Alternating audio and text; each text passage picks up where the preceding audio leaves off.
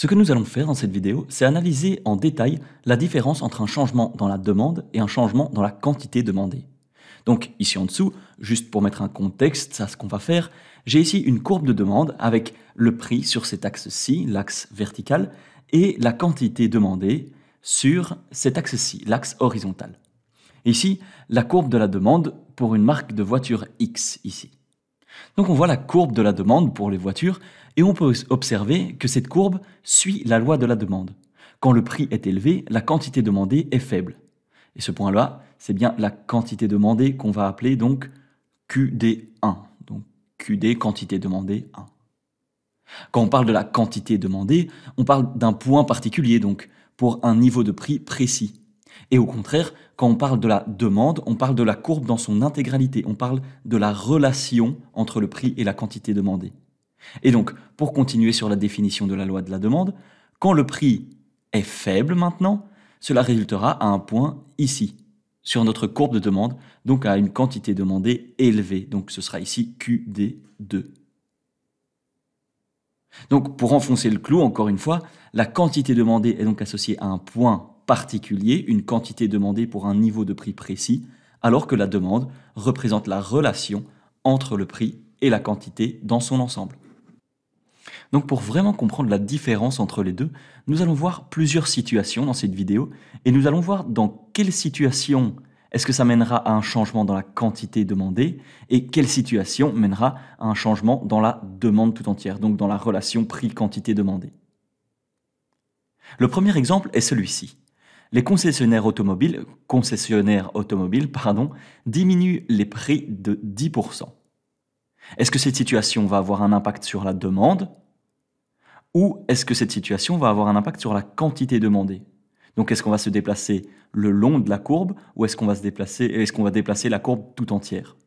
Mais peut-être sur pause quelques minutes et essaye de trouver la réponse. Une façon d'aborder cette question, c'est de prendre un prix, disons celui-ci, et à partir de là, pour que la demande change dans son ensemble, il faudrait que la quantité demandée augmente ou diminue à ce niveau de prix-là. Et si on reprend notre affirmation, on se rend compte que ça ne fait pas varier la quantité demandée pour un prix donné, ça va modifier le prix lui-même. Donc ici, une diminution des prix de 10% va avoir un impact sur la quantité demandée et non sur la demande en général. Si on prenait l'exemple où le prix et la quantité à l'équilibre sont représentés par ce point-ci, donc on appelle la quantité à l'équilibre, donc QD3, donc ceci, c'est le point d'équilibre avant la modification des prix. Et on parlera de ce concept de prix et de quantité d'équilibre dans une autre vidéo.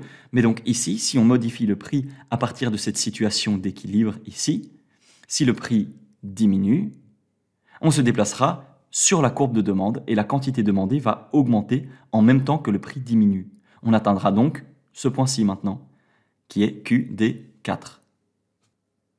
Donc ici, ce sera un changement que je note delta dans la quantité demandée, donc delta QD. Dans notre cas, cette quantité augmentait. Dans une seconde situation, le prix de l'essence augmente. Mais donc, est-ce que cela, impacterait la quantité demandée ou la demande elle-même? Pose de nouveau la vidéo et essaye de trouver la réponse. Eh bien, reprenons le même raisonnement. Si on imagine que notre situation initiale est sur ce point-ci, si le prix de l'essence augmente maintenant, les gens vont avoir tendance à acheter moins de voitures. Et ceci est vrai à n'importe quel niveau de prix. À n'importe quel niveau de prix, la demande va diminuer, les gens vont avoir moins de sous, ça va leur coûter plus cher d'acheter une voiture, d'utiliser une voiture, donc ils auront moins de sous pour acheter une voiture. La demande va donc diminuer. C'est donc toute notre courbe de demande qui va se déplacer vers la gauche. Donc ici, si cette courbe c'était D1, la nouvelle courbe maintenant, ici, ce sera D2. Et peut-être que ça te rappelle le sujet d'une vidéo de cette série sur les biens liés ici. L'essence, c'est un bien complémentaire à la voiture. Et donc un changement dans le prix de ce bien complémentaire aura un impact sur la demande, qui va mener donc à un changement dans la demande.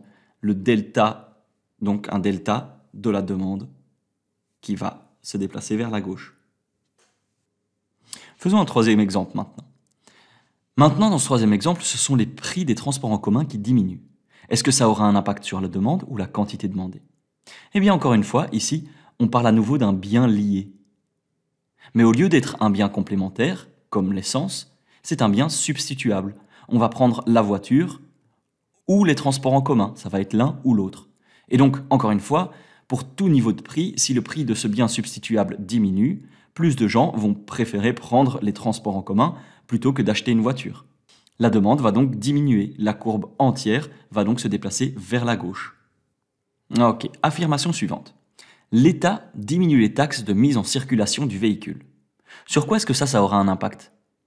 Mets de en pause et essaye de trouver la réponse. Eh bien, encore une fois, la taxe de mise en circulation est un bien complémentaire. Donc, pour n'importe quel prix de la voiture, si le prix de la taxe diminue, l'utilisation d'une voiture coûtera moins cher à une personne. Et donc, plus d'acheteurs potentiels vont vouloir acheter des voitures. Et comme c'est vrai pour n'importe quel niveau de prix, la courbe de demande tout entière va se déplacer vers la droite cette fois-ci. Les ménages vont être plus enclins à acheter des voitures. Donc, pour cet exemple-ci, c'est un changement de la demande vers la droite. Et on peut donc ici appeler cette nouvelle courbe D3, donc la demande 3. Donc, changement de la demande delta D vers la droite. Le dernier exemple dit ceci. Les consommateurs s'attendent à une augmentation des prix l'année d'après. Est-ce que ça va impacter donc toute notre demande ou la quantité demandée? Eh bien, encore une fois, cette affirmation n'est pas liée à un niveau de prix particulier. Ça resterait vrai peu importe où on se trouve sur la courbe de demande. Si les consommateurs s'attendent à une augmentation des prix, qu'ils voient dans le journal par exemple une annonce qui laisse à penser que les prix vont augmenter par exemple, eh bien à n'importe quel niveau de prix, les consommateurs vont avoir tendance à acheter des voitures maintenant parce qu'ils se diront oups, si le prix augmente, c'est maintenant que je dois acheter. Et donc la quantité demandée pour tout niveau de prix va augmenter. C'est donc la demande tout entière qui s'en trouve modifiée. Celle-ci va se déplacer vers la droite, donc delta de la demande vers la droite. Pour récapituler, lorsqu'on parle d'un changement dans un prix en particulier, si quelqu'un décide de diminuer ou d'augmenter le prix d'un bien, eh bien ça aura un impact, ça modifiera la quantité demandée. Et plus tard, quand on, quand on ajoutera la courbe de l'offre à notre graphe, on pourra voir que là où les courbes se croisent, cela nous donnera le point d'équilibre, la quantité et le prix à l'équilibre. Eh bien, lorsque l'une ou l'autre courbe se déplace tout entière, le point d'équilibre va également se déplacer. Et donc là, on observera un déplacement de la courbe qui se traduira par un changement de la quantité demandée. D'un autre côté, si on parle des choses qui restent vraies peu importe où on se trouve sur la courbe, cela aura un impact sur la demande en général et ça amènera donc à un déplacement de toute la courbe vers la gauche ou vers la droite.